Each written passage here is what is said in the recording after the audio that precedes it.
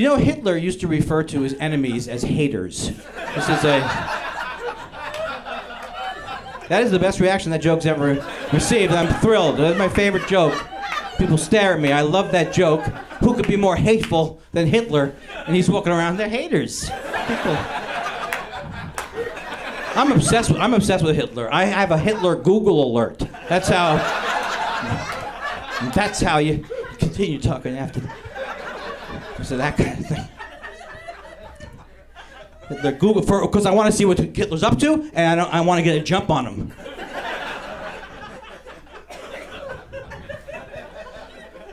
How, why, you know the you know the goose step was the most popular dance in Nazi Germany.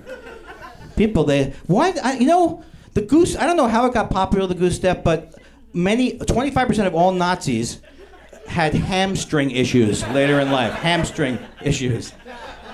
About that statistic? 25%. That's how they catch him in Argentina. Look at that guy, he's limping. The Nazi. I'm not a practicing Jew because I've got it down.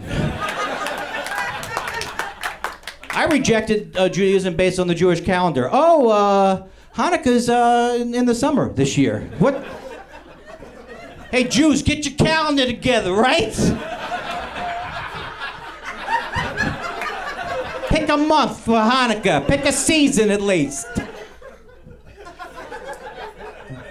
Whenever they talk about the Arab-Israeli conflict, they always say that uh, Israel should move back to its pre-1967 borders. I wish my body would move back to its pre-1967 borders. Yeah, it is excellent. It's an excellent joke. I'm gonna go the other way. Um, instead of self-deprecation, I'm gonna say after every joke how great it was, the best. Lucky to you're lucky to have heard it. I have a thriving website. I have over 40 unique visitors to my website a month. 40 unique visitors.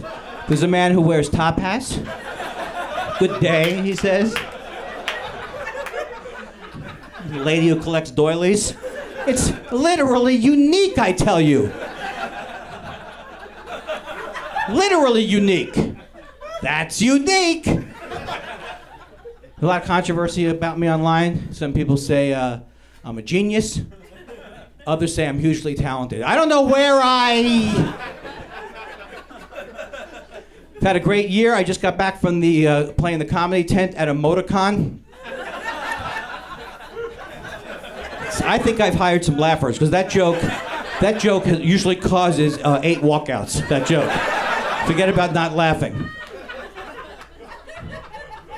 I'm, I'm starting my own Jewish camping organization. It's called Tents Up. Tents Up.